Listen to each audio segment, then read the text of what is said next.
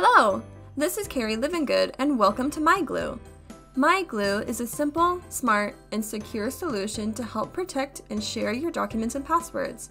Sisadmin has been utilizing this database to store documentation we have collected for your company, and now you will have access to some of these internal records as well. You can also use it to save your own documents and passwords. Think of this as your database or your company's information safe.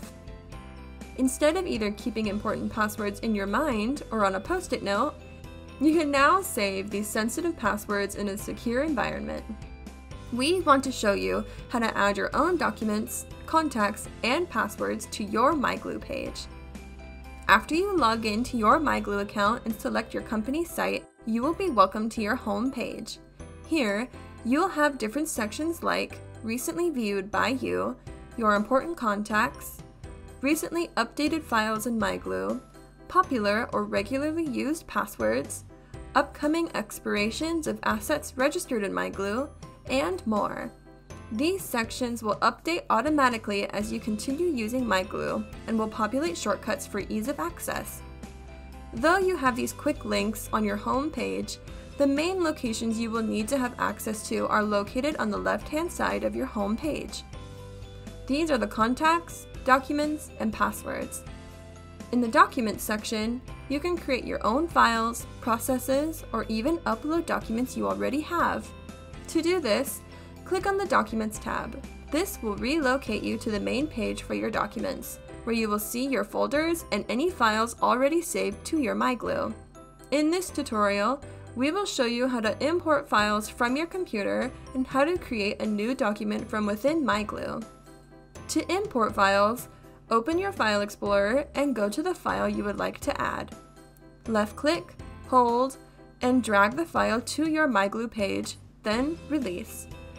This is the easiest method for uploading your files to your company site. To create a new document, click on the new icon and select Document. In the Document Creator, you are able to create four different boxes to customize your file heading, text, step, and gallery. Document creating from within MyGlue is best used for creating processes, and these boxes can help you create one with ease. First, you will need to name your document.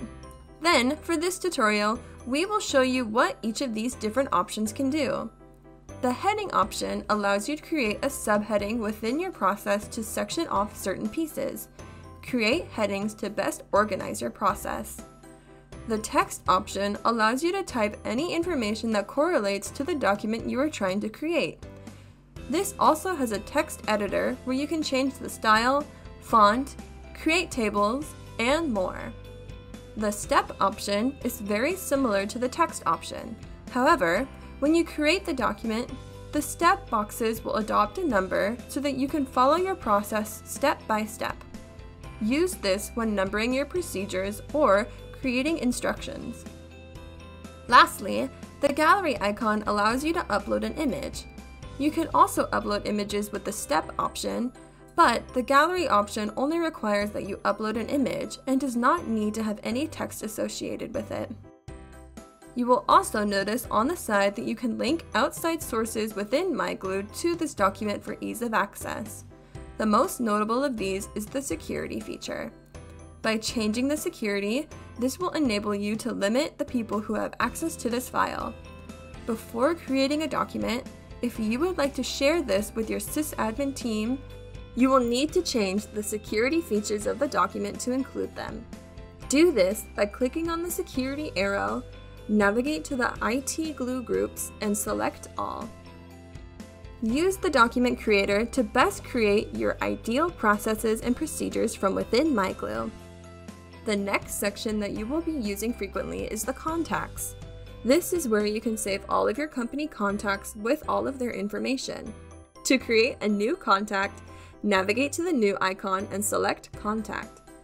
This will open a new page where you can input as much information as you need. This is the perfect place for you to store your internal contacts, vendor contacts, and more.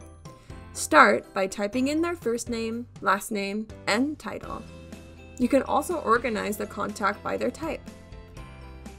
Next, decide if this is an important contact. Important contacts will show up on your company's home page. Next, add any email addresses or phone numbers associated with this contact. And lastly, the security section is where you decide who has access to this contact.